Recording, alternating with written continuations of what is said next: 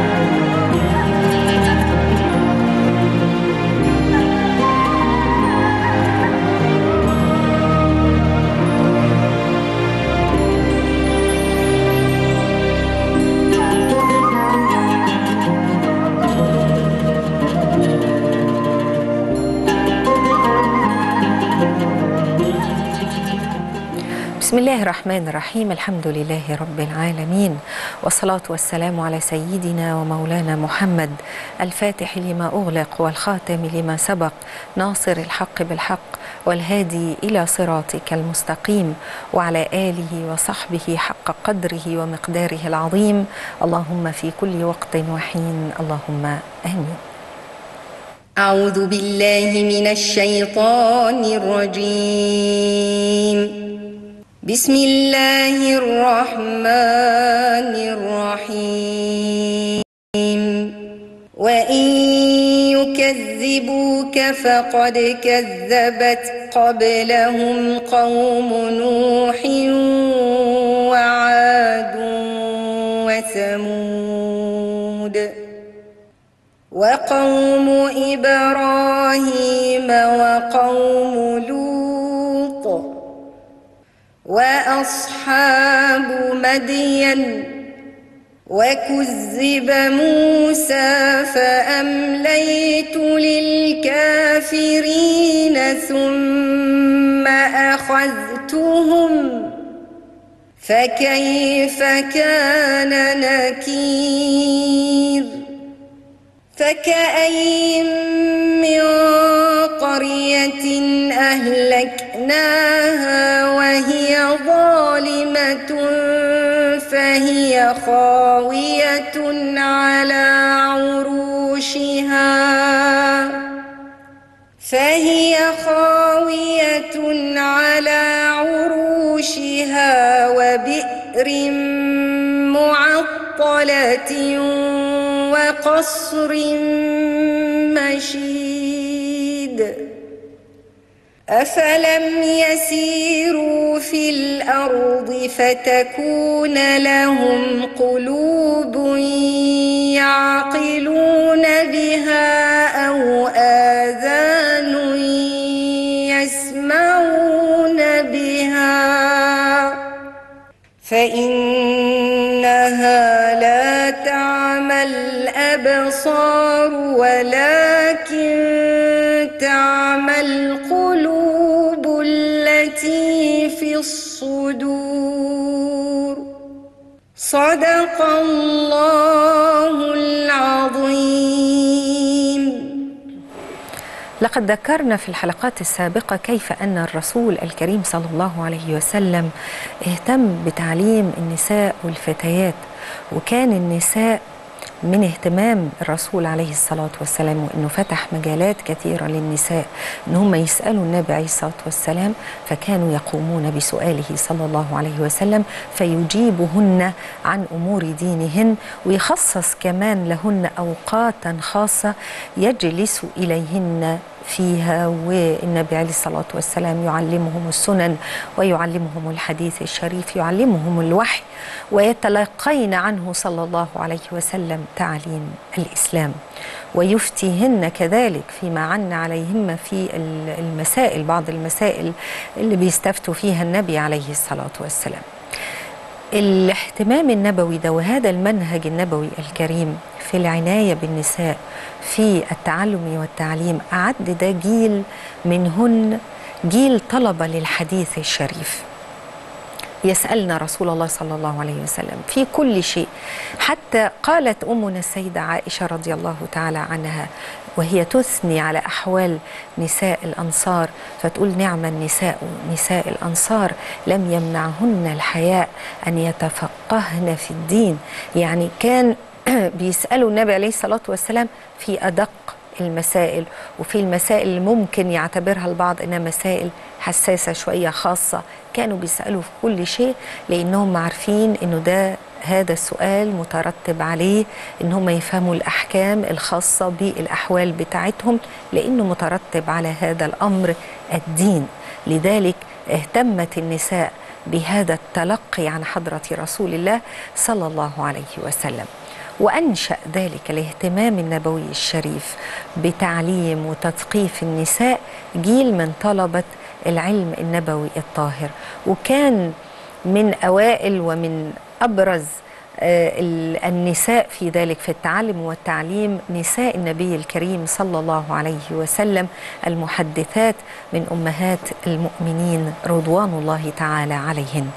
طبعا ده بيخلينا نأكد على إنه حديث رسول الله عليه الصلاة والسلام. تلقاه الصحابة الكرام رجالا ونساء ومن هؤلاء وأبرز هؤلاء أمهات المؤمنين زوجات النبي عليه الصلاة والسلام. فكان لأمهات المؤمنين رضي الله عنهن بذلك فضل كبير جدا في تبليغ الدين. ونشر السنة النبوية المطهرة بين الناس أجمعين. فكانت حجرات أمهات المؤمنين رضي الله عنهن مدارس علمية يقصدها طلاب العلم يجد السائل فيها عندهن الجواب الشافي للمسائل التي كانوا يأتون بها إلى أمهات المؤمنين ليقومون بسؤالهن وتجيب أمهات المؤمنين عليهن. وخاصة كذلك في مسائل الفتيا وغيرها ممن كانوا يقصدون أمهات المؤمنين لتلقي الحديث الشريف عنهن رضي الله تعالى عنهن اللي تلقوه مباشرة من حضرة رسول الله صلى الله عليه وسلم. ومن نعمة الله تعالى على هذه الأمة أنه تعددت هذه المدارس بتعدد زوجاته لأن كل واحدة من زوجات النبي عليه الصلاة والسلام مدرسة في حد ذاتها في التلقي في تلقي الحديث من حضرة رسول الله عليه الصلاة والسلام وكذلك في تعليم الحديث صل يعني تعليم الحديث عنه صلى الله عليه وسلم. فكلهن سمعن منه صلى الله عليه وسلم وكلهن شاهدن تفاصيل حياة النبي عليه الصلاة والسلام المعيشية الخاصة والعبادية. يعني طبعا شافوا أحوال النبي في أحوال لم يرها إلا نساء النبي عليه الصلاة والسلام. فهم رووا العديد من السنن المهمة جدا.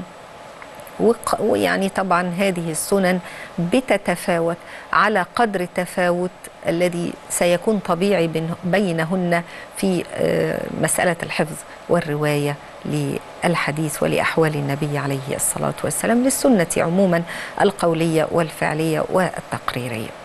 وإحنا هنذكر في هذا المقام يعني آه بعض القليل بس من باب ضرب المثل رضي الله عنهن.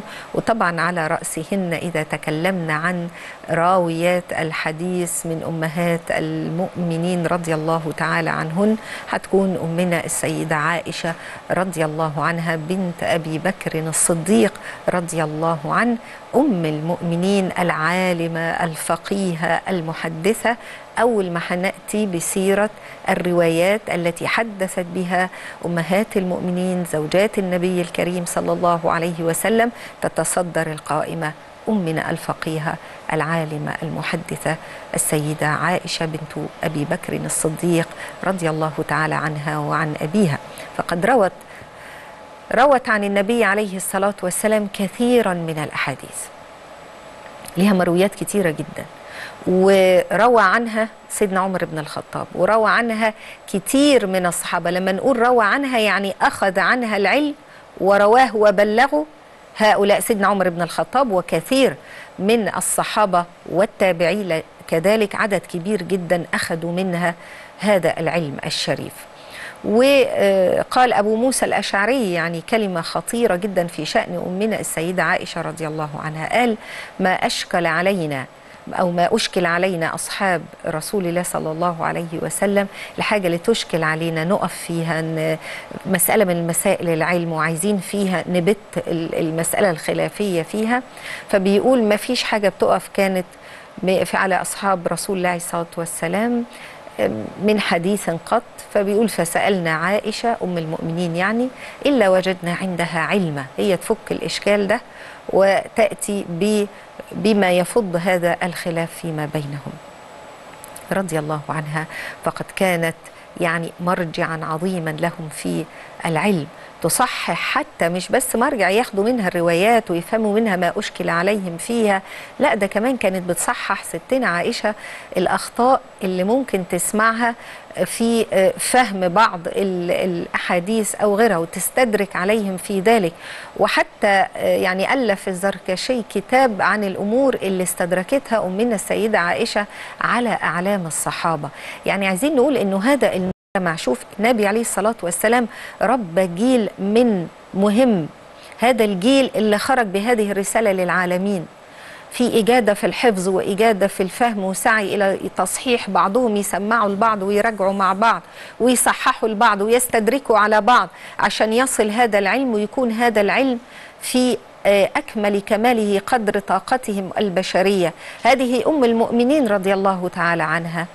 مثلا استدركت على سيدنا عبد الله بن عمرو بن العاص لما بلغ ستنا عائشة إنه يأمر النساء في الغسل يعني إن هم لما يجي يغتسلن أمرهن بأن ينقضن رؤوسهن. اللي مضفره يعني رأسها يقول لها لا عند ال- الغسل فكي أو انقضي هذه الضفيرة.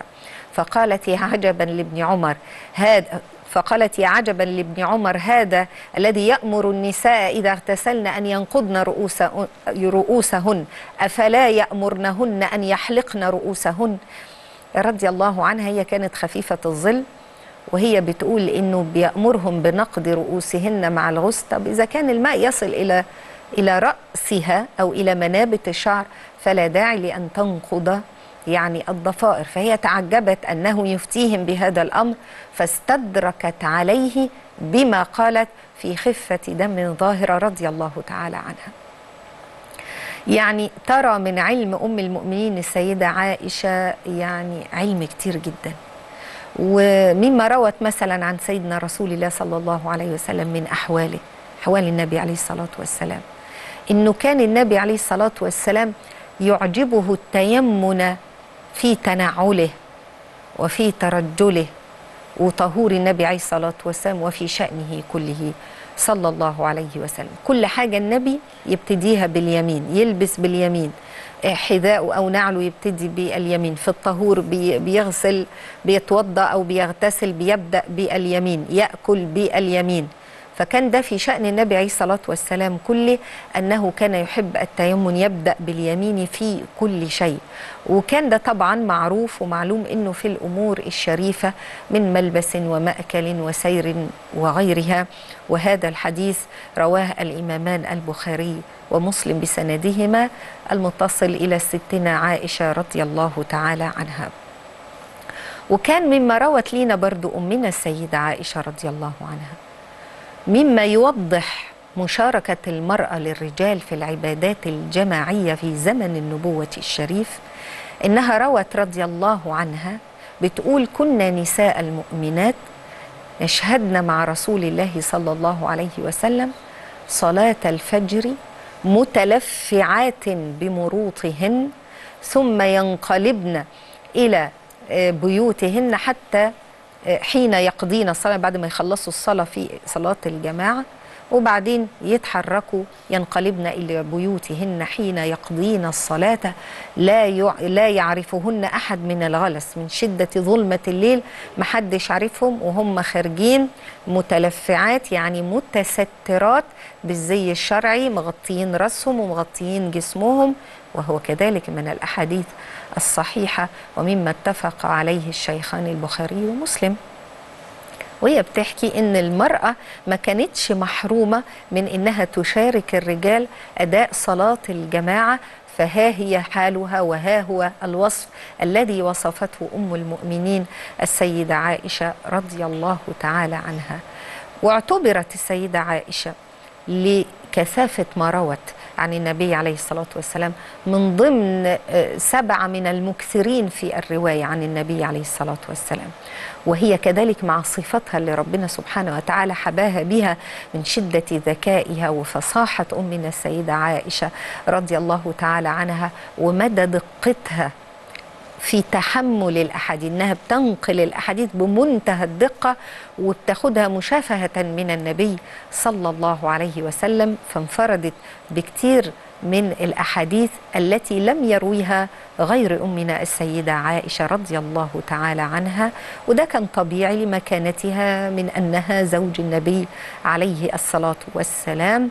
وسبحان الله العظيم فرغت لأن تقوم بهذه المهمة الكبيرة. في رواية الحديث ورضي الله عن أمنا الفقيهة المحدثة الراوية العالمة ستنا أمنا السيدة عائشة رضي الله تعالى عنها. كمان من أمهات المؤمنين الستنا أم سلمة رضي الله عنها اللي بتعد من فقهاء أمهات المؤمنين. هي روت الكثير من الأحاديث عن سيدنا رسول الله صلى الله عليه وسلم. روت كتير جدا فهي بتلي السيدة هي بتيجي في المرتبة الثانية بعد أمنا السيدة عائشة في كم المرويات التي روتها يعني أمهات المؤمنين كمان عن سيدنا رسول الله صلى الله عليه وسلم. يعني كان بيروح لها كتير جدا من الصحابة خصوصا بعد وفاة السيدة عائشة رضي الله تعالى عنها.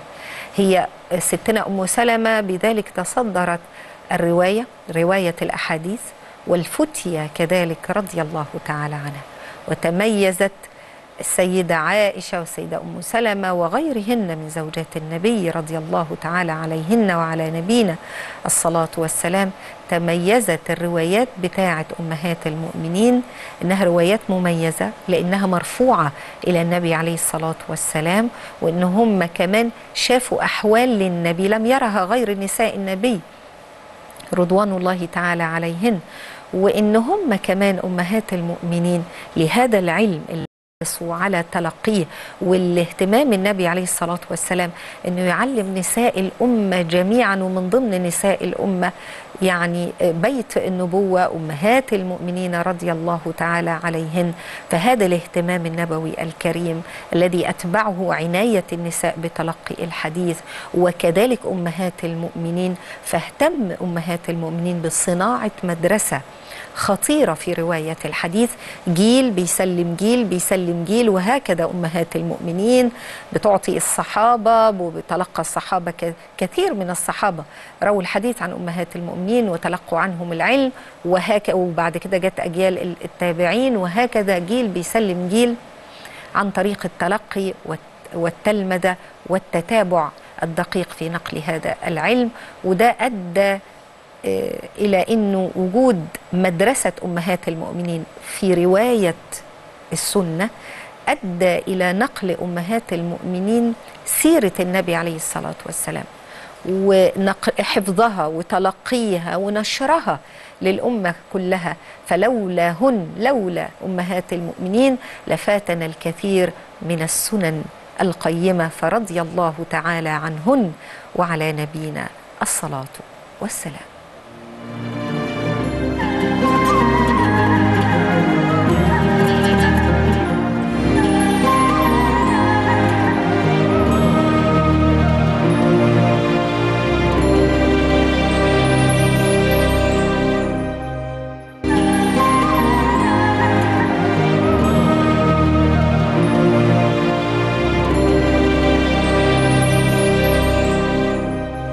مرحبا بكل مشاهدينا الكرام مشاهدي القناة الأولى المصرية والفضائية المصرية وقناتنا أون. مرحبا بالجميع. سريعا كده ناخد أسئلة حضراتكم عشان الوقت. أستاذة سمر. ألو؟ أهلا وسهلا. أهلا وسهلا بحضرتك يا دكتور. أهلا بيكي يا أستاذ سمر. أهلا وسهلا. أهلا وسهلا بحضرتك. أهلا. دكتورة أنا كنت عايزة أسأل حضرتك عن الحسد. هو على طول أنا الحسد عامل لي ازمه في حياتي اللي. هو دايما خايفة من الحسد على طول في أي حاجة.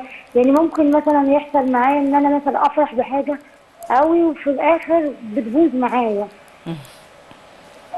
تاني حاجة اللي هو الوسواس القهري. بقيت يعني بخاف منه خالص.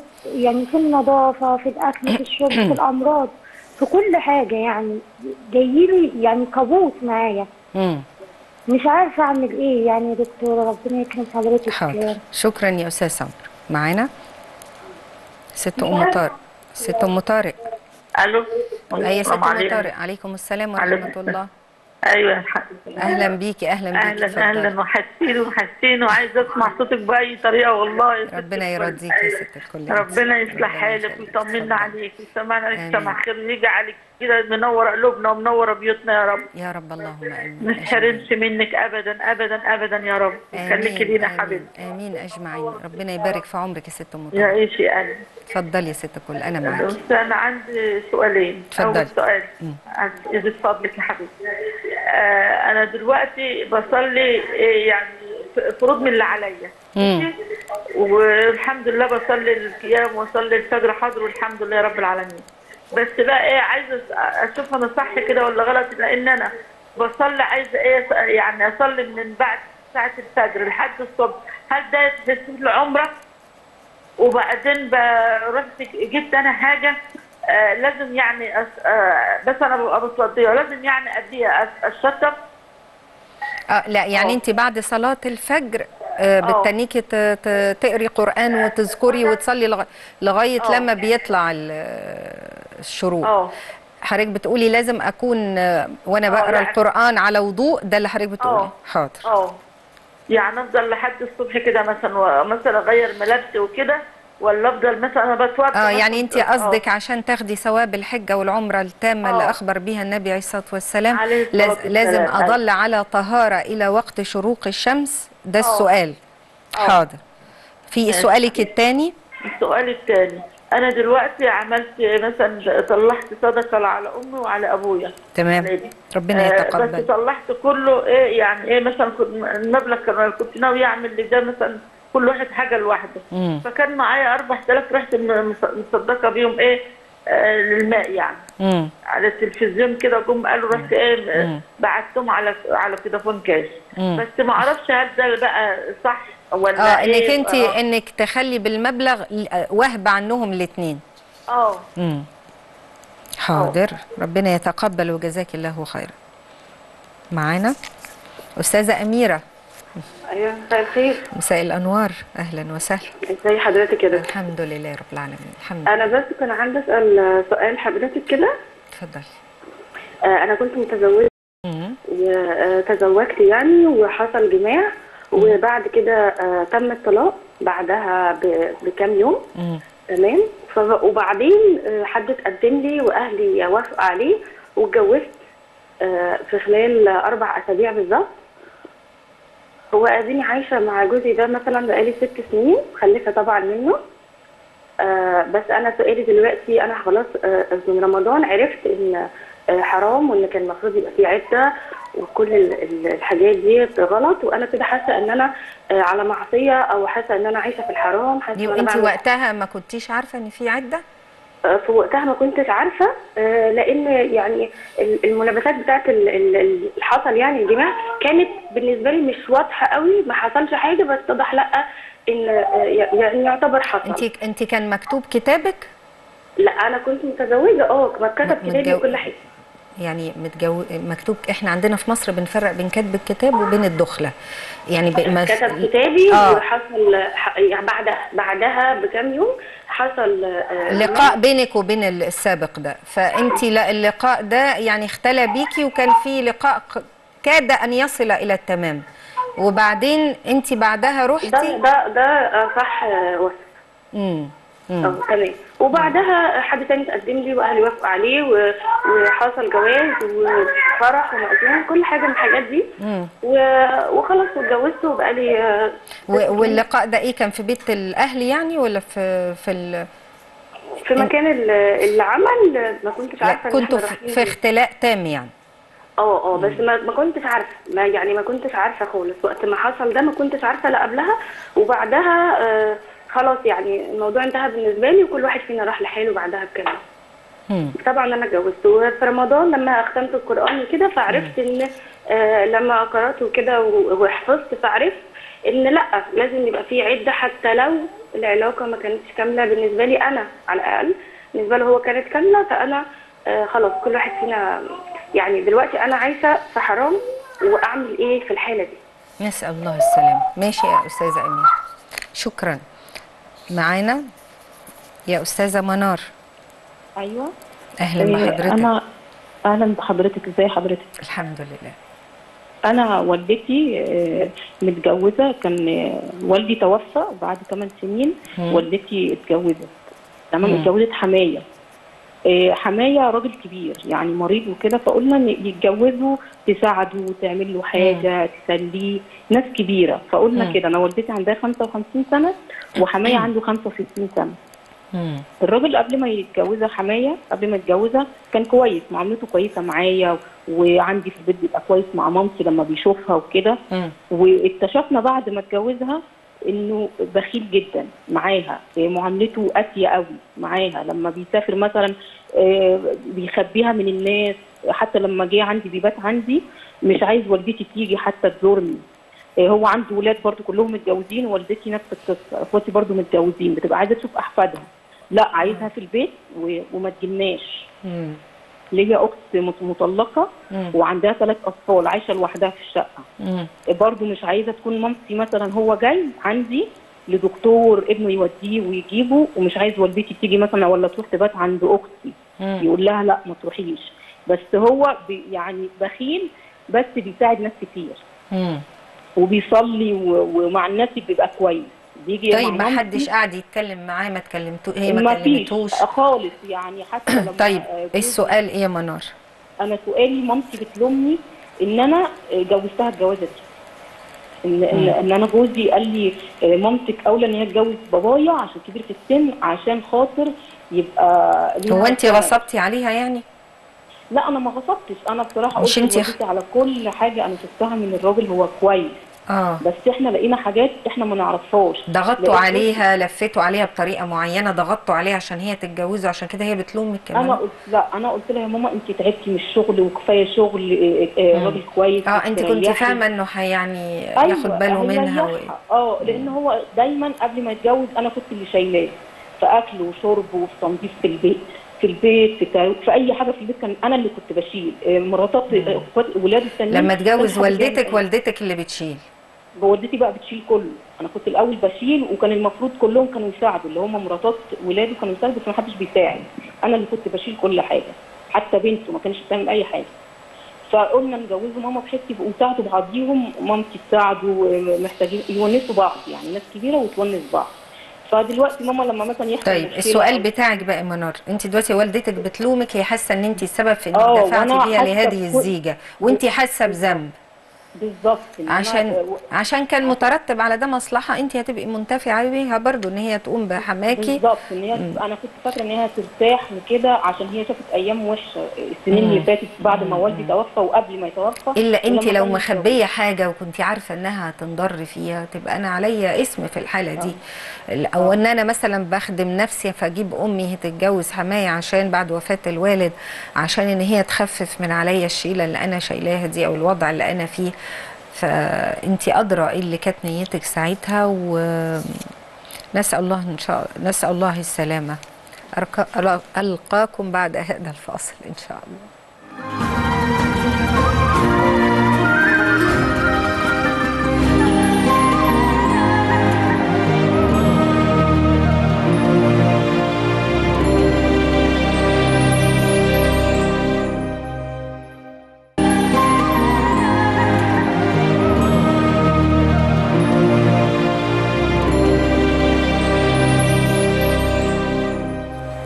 مرحبا بكل مشاهدينا الكرام. سمر قلقانه من الحسد على طول وهي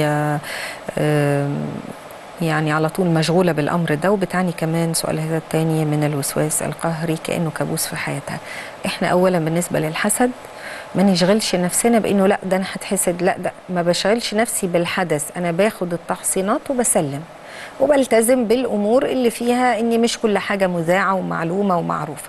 التحصينات الشرعية والمعوذات و اللي منها المعوذات وكثرة ذكر الله تعالى وكثرة الصلاة والسلام على سيدنا رسول الله عليه الصلاة والسلام أذكار الصباح أذكار المساء. كل دي التحصينات اللي المؤمن يعني بيلجأ بها إلى مولاه سبحانه وتعالى ويسأل الله سبحانه وتعالى الحفظ والحماية والرعاية. وهو مع ده يعني مش بقى بيقعد يفتخر على الناس ويظهر لا الإنسان يمشي بعقل وباتزان ويتحصن بهذه الأحصان ويسلم أمره لله سبحانه وتعالى. بالنسبة للوسواس القهري ده محتاج متخصص في الدعم النفسي لأن ده لازم لازم لأن في حالات ما بتبقاش طبيعية. حالات بتح... بتعدي الحد الطبيعي فلا بد فيها من أهل التخصص في المجال النفسي يا ست سمر. أم طارق هي بتصلي من اللي عليها. آه، بتصلي القيام والفجر حاضر وبتصلي من اللي عليها بعد كده. وسؤالها التاني هل إنها لازم تكون على وضوء من بعد صلاة الفجر لحين شروق الشمس عشان تاخد ثواب يعني إلى آه، ثواب من أدى عمره أو حجة آه، تامة. آه، قضاء ال- الفوائد في الوقت بعد الفجر. يعني الحقيقة إنه القضاء الفوائد دي بيكون قبل ال- الفجر أو الانتظار بعد الشروق. والوقت بعد ال- الفجر اللي حضرتك بتبتدي فيه بقى تذكري وتتعبدي إلى حين شروق الشمس وبعده بتلت ساعة تبتدي تصلي ركعتين ال- الضحى. آه، يعني هو وقت لإيقاع العبادة فيه للحصول على الأجر والثواب. هل يشترط أن أنا طيلة المدة دي من بعد صلاة الفجر لغاية شروق آه، الشمس ولغاية ما ابتدي أصلي الضحى بعد شروق الشمس بثلث ساعة؟ أني أكون كل طول الوقت ده على طهارة لا يشترط ذلك ولكن يعني يستحب عشان لو أنت حبيتي تصلي حبيتي إنك أنت تذكري حبيتي إن أنت تقري قرآن يعني من باب الكمالات يعني. حضرتك بتقولي آه، تبرعتي وتصدقتي عن الوالد والوالدة. التبرع بالصدقة عن ال- الوالدين ال- المتوفيين إن شاء الله الأجر واصل وحاصل بإذن الله تعالى. ما دام هذه المؤسسة بتعمل تحت مظلة الدولة معروف ومعلوم أنا حاجتي دي بتروح فين وبتيجي منين. يعني مقصود بأنها تحت مظلة الدولة إن الفلوس مش بروح أديها لأي حد ومش كل اعلان في التلفزيون بيكون سليم لكن تبقى مؤسسات ليها أرقام معلومة مشتهره معروفة بتتبع يعني عليها نوع من الرقابة. والنقطة الثانية وهبتي لهما فلهما إن شاء الله الثواب نسأل الله سبحانه وتعالى القبول والإنسان لما يتصدق يدعو الله سبحانه وتعالى ويسأله سبحانه وتعالى أن يتقبل ما قدمه وما وهب هذا الثواب لوالديه أو لمن شاء. بالنسبة لمسألة أميرة اللي كانت متجوزة يعني مكتوب كتابها وبعدين كان في اختلاء بالزوج. يعني أنا الموضوع ده أنا مش هقدر أجزم فيه برأيي. الزواج بقى والطلاق بعد الخلوة وبعد كده يجي المأذون على طول. يعني إزاي تم العقد الرسمي على التاني بال- بالمنظر ده؟ وهي آه، يعني في حاجة مش واضحة بالنسبة لي في الأمر وفي نفس الوقت لابد أنا شايفة السؤال ده محتاج نوع من التحقيق. لازم يبقى في حد نقعد نتكلم معاه في دار الإفتاء المصرية عشان بت هذه المسألة. الموضوع يحتاج فعلا إلى تحقيق وتدقيق وأنصح حضرتك بالذهاب إلى دار الإفتاء المصرية يعني أو تروحي مع والدك أو والدتك أو حد تصطحبيه من أجل البت في هذه المسألة. لا أستطيع أن أبت في هذه المسألة يا أميرة. منار والدتها كانت متجوزة يعني يعني هي جوزتها من حماها بعد والدها ما توفاه الله. وبعدين بتقول هي كانت 55 سنة والحماة 65 سنة. وهي بتقول آه، يعني أنا آه، عاونت في إنها تتجوز. وهو بعد كده اكتشف بقى بخله وقسوته ومش عايزة تشوف أحوادها ولا تلتقي باحفادها ولا تلتقي بحد. يعني إحنا دلوقتي في الأمر. يعني بقينا في المشكلة. فالأمر دلوقتي محتاج لقدر كبير من الحكمة ومن الصبر وكله قدر وطبعا ونصيب. أنا مش عايزة بس انت عندك خلاص نوع من اللوم أنا مش عايزاكي بقى تحملي خلاص نفسك فوق ما تطيقين. وعايزة الأم تختار مصيرها الآن. يعني ما هو مش الجوازه وبعدين يرغمها على أنها ما تشوفش أولادها وما تشوفش أحفادها وما تشوفش حد ويبخل عليها وقاسي عليها وهتترك. هي تتحل المشكلة بأي صورة من الصور أو نبحث لها عن مخرج بدل من إن والدتك بتلقي عليك اللوم وأنت كمان قاعدة زعلانة من نفسك. فنحاول إن إحنا ناخد بإيديها مع إخواتك نوصل لحل في هذه المشكلة. إنه يديها حقوقها في ترى احفادها وتراكم وتشوفكم وإن يكون لها مصروفها الخاص بيها اللي هي تتعايش منه حبت تجيب حاجة تعمل حاجة آه إنها تاخد حقوقها للشرع الشريف آه، يعني حض عليها. أما وإن هي حاسة بضيق أو بعدم ارتياح لإكمال هذه الزيجة فلها أن تختار مصيرها. يا منار. نتوجه إلى الله سبحانه وتعالى بخالص الدعاء. وقال ربكم ادعوني أستجب لكم. يا الله يا رحمن يا رحيم يا حي يا قيوم يا ذا الجلال والإكرام والطول والإنعام. اللهم إنا نسألك بمحمد نبيك وإبراهيم خليلك وموسى كليمك وعيسى نجيك وروحك وبتوراة موسى وإنجيل عيسى وزبور داود وفرقان محمد صلى الله عليه وسلم. وبكل وحي أوحيته نسألك نسألك نصرا عزيزا نسألك فتحا مبينا نسألك عزا عظيما. يا من بيده ملكوت كل شيء إنك على كل شيء قدير. نسألك يا الله العفو والعافية والمعافاة الدائمة في الدين والدنيا والآخرة. اللهم ادفع عنا كل الفتن والآفات واقضي لنا يا مولانا في الدنيا والآخرة جميع الحاجات.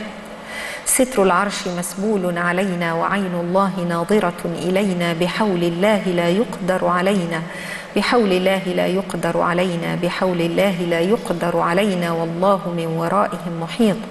بل هو قرآن مجيد في لوح محفوظ فالله خير حافظا وهو أرحم الراحمين. إن وليي الله الذي نزل الكتاب وهو يتولى الصالحين. حسبي الله لا إله إلا هو عليه توكلت وهو رب العرش العظيم. اللهم إنا نسألك العافية في الدنيا والآخرة. اللهم إنا نسألك العفو والعافية في ديننا ودنيانا وأهلنا ومالنا. اللهم استر عوراتنا وآمن روعاتنا. اللهم احفظنا من بين أيدينا ومن خلفنا وعن يميننا وعن شمالنا ومن فوقنا. ونعوذ بعظمتك أن نغتال من تحتنا. يا من كنت قبل كل شيء والمكون لكل شيء والكائن بعد كل شيء. اللهم اجعل لغزة وفلسطين والسودان فرجا ومخرجا. اللهم اجعل لنا ولهم فرجا ومخرجا بحق ليس لها من دون الله كاشفة. اللهم اجعل لنا ولهم فرجا ومخرجا بحق ليس لها من دون الله كاشفة. اللهم اجعل لنا ولهم فرجا ومخرجا بحق ليس لها من دون الله كاشفة. اللهم اغفر للمسلمين والمسلمات والمؤمنين والمؤمنات الأحياء منهم والأموات. إنك يا مولانا سميع قريب مجيب الدعوات يا رب العالمين. وآخر دعوانا أن الحمد لله رب العالمين وصلاة وسلاما عليك يا سيدي يا رسول الله. اللهم صل وسلم وبارك عليه في كل وقت وحين. اللهم آمين. نستودعكم عناية الرحمن الرحيم.